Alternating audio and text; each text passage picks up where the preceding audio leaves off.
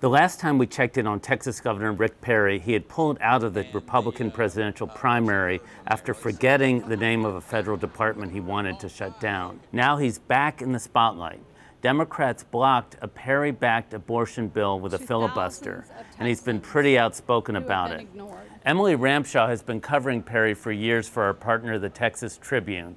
Emily, might his defense of conservative principles help Perry politically? You know, I think that's really a high likelihood. Look, he was delivered a setback last week when Democrats filibustered this abortion bill that Perry really had made a calling card of his. Now he's been out, you know, on the national scene sort of saying, there's no way this bill isn't going to pass. I'm putting my full weight behind it and, you know, behaving like somebody who might even be running for president. What about Perry's criticism of Wendy Davis, the Democrat who led the filibuster? So Perry made what many saw as a very personal attack against Wendy Davis.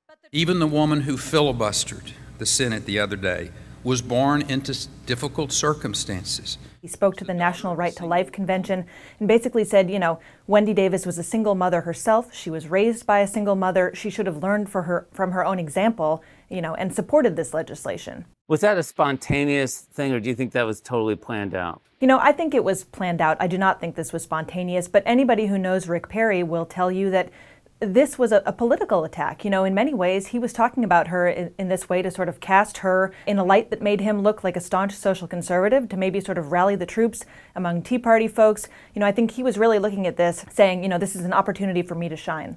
Uh, finally, Emily, you mentioned presidential politics. Is that a possibility? Is he really thinking about it? You know, it's really too early to tell. We're expecting to hear from Perry possibly as early as next week on whether he's going to run for governor again.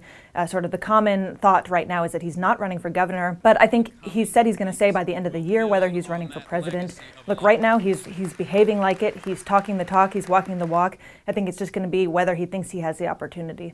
Thank you, Emily.